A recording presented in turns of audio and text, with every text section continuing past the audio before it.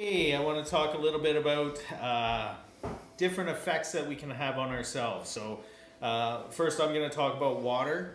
And basically, we can change the composition of water just by the energy that we put into the water. Uh, if we love it or tell it we love it, even stirring it and, and being very thankful that we have the water, uh, we can actually change the composition of the water.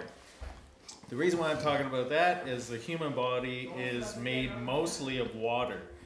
So, where I'm going with this is the conversations that we have with ourselves. A lot of people will wind up, you know, making maybe a bad decision in their mind or that, and they'll be like, oh man, you idiot. So, these are very, um, we, we got to become very aware of how we treat ourselves. So, when we're calling ourselves name, we're affecting the water that's actually within us. So, what I like to do, and what I learned to do years ago, was I'll call myself friend, you know. So instead of saying, "Oh, you idiot, you made the wrong choice," we shouldn't call ourselves names at all, not even if we're joking.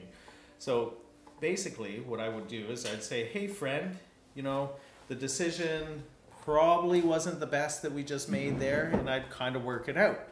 Now, the one thing I always ask people as I'm kind of teaching them this this new strategy is, um, you know, if you had a friend that treated you the same way that you're treating yourself, would they still be your friend? You know, that's the question that you would ask.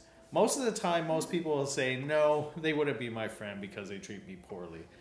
So basically, the message is, is treat yourself well, treat yourself kind. You can keep the, the energy and the water in your body positive just by being your own friend.